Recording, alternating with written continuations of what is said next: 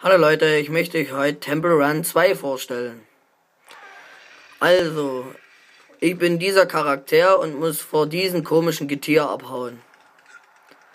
Muss dabei möglichst viele Münzen sammeln, über Gegenstände springen, unter Gegenständen hindurchrutschen, nach links und rechts abbiegen,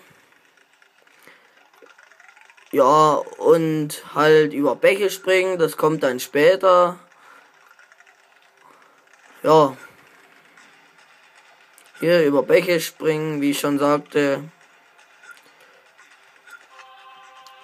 Diamanten sammeln, die später nützlich werden. Ja, im Groben und Ganzen funktioniert dieses Spiel so. Es ist wie Doodle Jump aufgebaut. In diesem Spiel gibt es kein richtiges Ende. Wenn man gegen einen Gegenstand gegenrennt oder ins Wasser fällt und so, ist das Spiel beendet. Wie bei Doodle Jump, wenn man herunterfällt.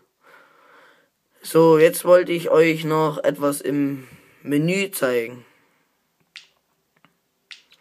Also, im Menü kann man für seinen Charakter upgraden. Das ist mein Charakter, mein jetziger. Dann kann man upgra upgraden. Sorry.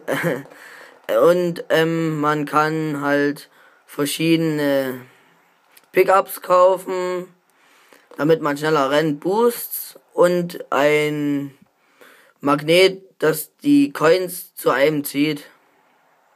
Ja. Man kann auch andere Charaktere für verschiedene Coins kaufen.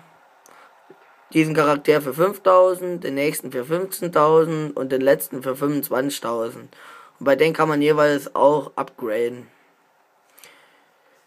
Ja, Temple Run ist eigentlich ein cooles Spiel. Es ist, wie ich sagen würde, sehr empfehlenswert. Es ist im App Store für, neu, für ko kostenlos erhältlich und ja, ich würde sagen, Kaufempfehlung.